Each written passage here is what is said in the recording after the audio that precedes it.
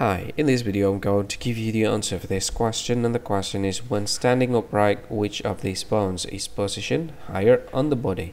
When I give you a list of the option, I mean I'll give you the answer for this question of that I'll give you explanation for that and the answer for the question is humerus. And here is a bit more explanation about the answer. The humerus, uh, the lengthy bones of the upper arm links the shoulder to elbow and holds a higher position in the body compared to femur, thigh bone, tibia, or radius.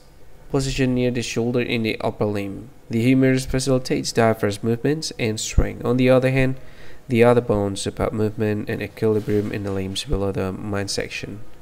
Even though the femur is longer and denser, it is situated in the leg, making the humerus anatomically the bone located higher in the body. So that is correct answer for the question. Humerus, that is correct answer for the question.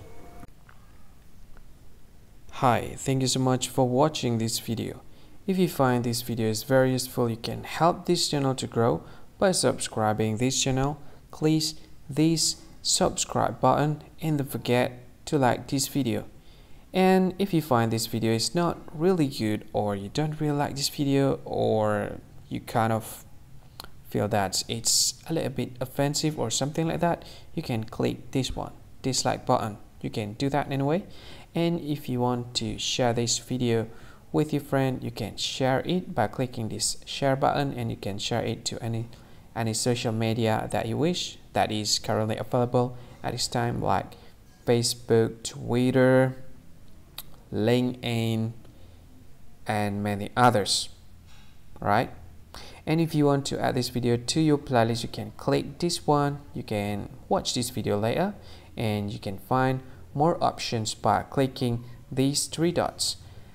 And yeah don't forget to subscribe. I think that's all of it. Thank you so much for watching this video and see you again in another video. Bye bye see you again